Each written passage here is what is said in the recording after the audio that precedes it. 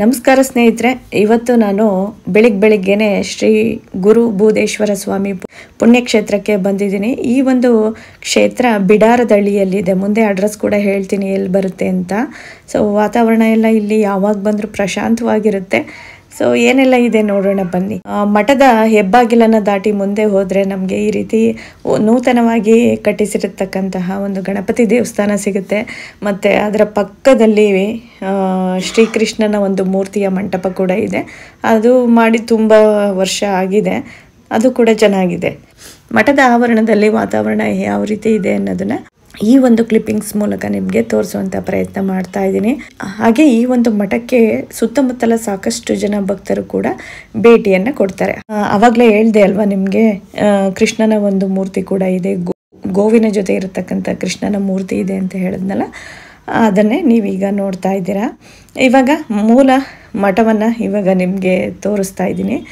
ಒಂದು ಗರುಡ ಗಂಬ ಇದೆ. ಅದರ ಸುತ್ತ ಅಂಗಳವನ್ನು ಯಾವ ರೀತಿ ತುಂಬನೇ ಅಚ್ಚುಕಟ್ಟಾಗಿ ಇಟ್ಟಿದ್ದಾರೆ ಅನ್ನೋದನ್ನು ನೋಡ್ಬೋದು. ಮತ್ತು ಶಿವನ ಒಂದು ಸ್ಟ್ಯಾಚು ಕೂಡ ಇದೆ. ಅದು ಕೂಡ ನೋಡಲಿಕ್ಕೆ ತುಂಬಾ ಚೆನ್ನಾಗಿದೆ. ಈಗ ಏನು ನೋಡ್ತಾ ಇದ್ದೀರಲ್ಲ, ಇದೇ ಬೋಧೇಶ್ವರ ಸ್ವಾಮಿ ಮಠದ ಒಂದು ಮುಖ್ಯವಾದಂತಹ ದೇಗುಲ ಅಂತಲೇ ಹೇಳ್ಬೋದು. ನಾನು ಮುಂದೆ ಇವಾಗ ತೋರಿಸ್ತೀನಿ ಯಾವ ರೀತಿ ಇದೆ ಮಠದ ಒಳಗೆ ಅಂತ. ಮಠದ ಒಳಗೆ ಬಂದರೆ ನೀವು ಈ ರೀತಿ ನೋಡ್ಬೋದು. ತುಂಬ ಜನ ಸುತ್ತಮುತ್ತ ಹಳ್ಳಿಯ ಸಾಕಷ್ಟು ಭಕ್ತರು ಈ ಒಂದು ಮಠಕ್ಕೆ ಬರ್ತಾರೆ. ಈಗ ಒಳಗಡೆ ತೋರಿಸ್ತಾ ಇದ್ದೀನಿ. ಗರ್ಭಗುಡಿಯಲ್ಲಿ ಈ ರೀತಿ ಮೂರು ಗದ್ದಿಗೆಗಳಿದೆ. ಒಂದು ಮೂಲ ಗುರುಗಳಾದಂತಹ ಭೂದೇಶ್ವರ ಸ್ವಾಮಿ, ತೋಟದೇಶ್ವರ ಸ್ವಾಮಿ ಮತ್ತೆ ಪಾರ್ವತಮ್ಮನವರು. ಈ ರೀತಿ ಮೂರು ಗದ್ದಿಗೆಗಳನ್ನು ನಾವಿಲ್ಲಿ ಕಾಣ್ಬೋದು. ಇಲ್ಲಿ ಏನು ಇನ್ನೊಂದು ವಿಶೇಷತೆ ಏನು ಅಂತ ಅಂದರೆ ಹೂವಿನ ಅಪ್ಪಣೆ ಆಗುತ್ತೆ. ತುಂಬೆ ಹೂವಿನಲ್ಲಿ ಪಾದುಕೆ ಹತ್ರ ಪೂಜೆ ಮಾಡಿ ಇಟ್ಟಿರ್ತಾರೆ. ಸೊ ಅದರಲ್ಲಿ ಬೆಸ ಮತ್ತು ಸರಿ ಈ ರೀತಿ ಆಗುವಂಥ ಅಪ್ಪಣೆ ಆಗೋದು ಸಹ ಈ ಒಂದು ಮಠದ ವಿಶೇಷ ಅಂತಲೇ ಹೇಳ್ಬೋದು. ತುಂಬಾ ಪವರ್ಫುಲ್ ಪವಾಡ ಪುರುಷರು ಅಂತಲೇ ಹೇಳ್ಬೋದು. ಈ ಒಂದು ಮಠದ ಆವರಣದಲ್ಲಿ ವಿದ್ಯಾಸಂಸ್ಥೆ ಕೂಡ ಇದೆ. ಸಾವಿರಾರು ಹಳ್ಳಿಯ ಮಕ್ಕಳು ಒಂದು ವಿದ್ಯೆಯನ್ನ ಪಡೆದುಕೊಂಡು ಒಳ್ಳೆ ಒಳ್ಳೆ ಜಾಬ್ ಅಲ್ಲಿ ಇದ್ದಾರೆ ಅಂತಾನೆ ಹೇಳ್ಬೋದು. ನಾನು ಕೂಡ ಪಿ ಯು ಸಿಯನ್ನ ಶ್ರೀ ಬೋಧೇಶ್ವರ ಮಠದಲ್ಲೇ ಓದಿದ್ದು. ಆ ಒಂದು ಡೊಳ್ಳು ಇದೆ ನೋಡಿ. ಅದು ಸುಮಾರು ವರ್ಷಗಳಿಂದ ಇದೆ. ನಾವು ತುಂಬ ಚಿಕ್ಕ ವಯಸ್ಸು ಇದ್ದಾಗಿಂದ ಈ ಒಂದು ಮಠಕ್ಕೆ ಬರ್ತಾ ಇದ್ದೀವಿ. ಸೊ ಅವಾಗಿಂದನು ಸಹ ಆ ಒಂದು ಏನು ಡೊಳ್ಳು ಇದೆ ಅಂತಲೇ ಹೇಳ್ಬೋದು. ಇದು ಶ್ರೀ ತೋಟದೇಶ್ವರ ಗುರುಗಳ ಗದ್ದಿಗೆ. ಇವರು ಶ್ರೀ ಬೋಧೇಶ್ವರ ಸ್ವಾಮಿಗಳ ಶಿಷ್ಯರಾಗಿರ್ತಾರೆ. ಅವರ ಗದ್ದಿಗೆ ಕೂಡ ಇದೆ. ಇದು- ಪಾರ್ವತಿಯಮ್ಮನವರ ಮೂರ್ತಿ. ಶ್ರೀಗಳ ಬಗ್ಗೆ ಒಂದಿಷ್ಟು ತಿಳಿದುಕೊಳ್ಳೋಣ. ನೋಡಿ, ಇದೆ. ಇದರ ಕಥೆಯನ್ನು ನೋಡೋದಾದರೆ ಉತ್ತರದಿಂದ ದಕ್ಷಿಣದ ಕಡೆಗೆ ಬಂದು ಈ ಶ್ರೀಗಳು ಆಗಮನವನ್ನು ಪಡ್ಕೊತಾರೆ. ಈ ಬಿಡಾರದಳ್ಳಿ ಎನ್ನುವಂತಹ ಒಂದು ಪ್ರದೇಶದಲ್ಲಿ ಮುಂದೆ ನೆಲೆ ನಿಂತಾರೆ. ಸಾಕಷ್ಟು ಪವಾಡಗಳನ್ನು ಮಾಡ್ತಾರೆ. ಶ್ರೀಗಳು ಒಮ್ಮೆ ಬಾಯಾರಿಕೆಯಿಂದ ತೆಂಗಿನ ಮರದ ಕಡೆಯನ್ನು ನೋಡಿದಂಥ ಸಂದರ್ಭದಲ್ಲಿ ತೆಂಗಿನ ಮರವೇ ಬಾಗಿ, ಕಲ್ಪವೃಕ್ಷ ಬಾಗಿ ಶ್ರೀಗಳಿಗೆ ಎಳನೀರನ್ನು ಕೊಟ್ಟಿದ್ದಂತೆ ಆ ರೀತಿ ಸಾಕಷ್ಟು ಪವಾಡಗಳು ಹಿಂದೆ ನಡೆದುಕೊಂಡು ಬಂದಿದೆ. ವರ್ಷಕ್ಕೊಮ್ಮೆ ಇಲ್ಲಿ ಜಾತ್ರೆಗೆ ಜಾತ್ರೆ ತುಂಬನೇ ಅದ್ದೂರಿಯಾಗಿ ನಡೆಯುತ್ತೆ. ಇಲ್ಲೇ ಸಮೀಪದಲ್ಲಿ ನಿಟ್ಟೂರು ಅನ್ನುವಂತಹ ಒಂದು ಗ್ರಾಮ ಇದೆ.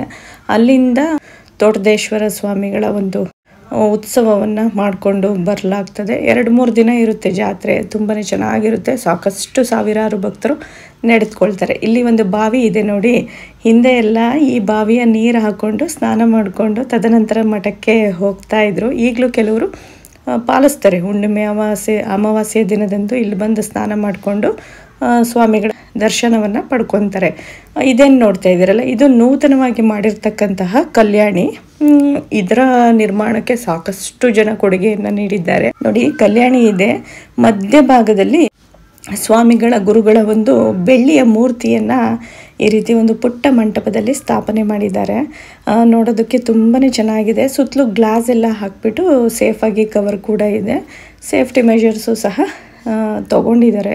ತುಂಬಾ ಪ್ರಶಾಂತವಾದಂಥ ಸುತ್ತಲೂ ಒಂಥರ ಹಳ್ಳಿಯ ವಾತಾವರಣ ಅಂತಲೇ ಹೇಳ್ಬೋದು. ಅಂತಹ ಒಂದು ಸ್ಥಳದಲ್ಲಿ ಸ್ವಾಮಿಗಳು ಬಂದು ನೆಲೆ ನಿಂತಿದ್ದಾರೆ.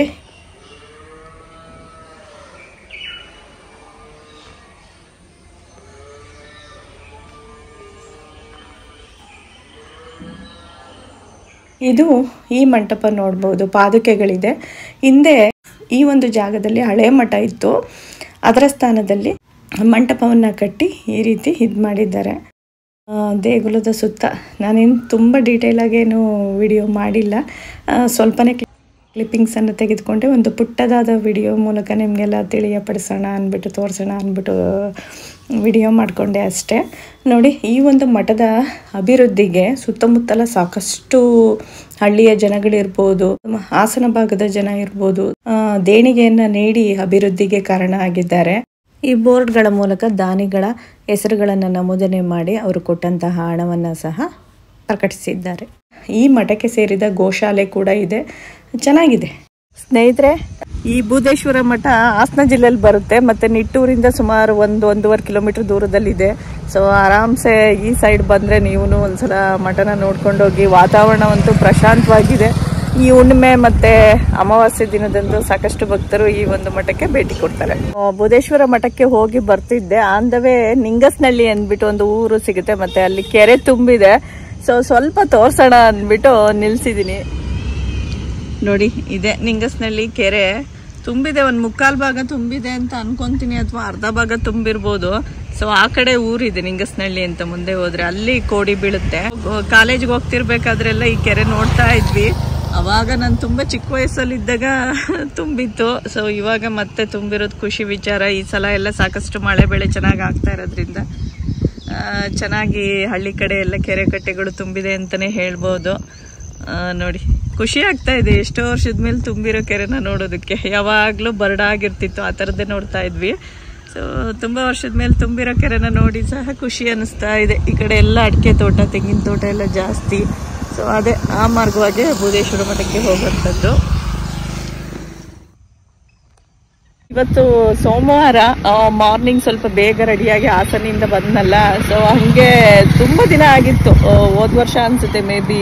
ಯಾವಾಗಲೂ ಜಾತ್ರೆ ಟೈಮಲ್ಲಿ ಒಂದ್ಸತಿ ಹೋಗಿದ್ದೆ. ಹೋಗೇ ಇರಲಿಲ್ಲ ಬುಧೇಶ್ವರ ಮಠಕ್ಕೆ, ಸೊ ನೋಡ್ಕೊಂಡು ಹೋಗೋಣ ಅಂತ ಅನ್ನಿಸ್ತು ಇವತ್ತು. ಸೊ ಹಂಗೆ ಬಂದೆ ಗಾಡಿ ತೊಗೊಂಡು. ಸೊ ದರ್ಶನ ಎಲ್ಲ ಚೆನ್ನಾಗಾಯಿತು ಇವಾಗ ವಾಪಸ್ಸು ಊರಿಗೆ ಹೋಗ್ತಾ ಉಂಟು.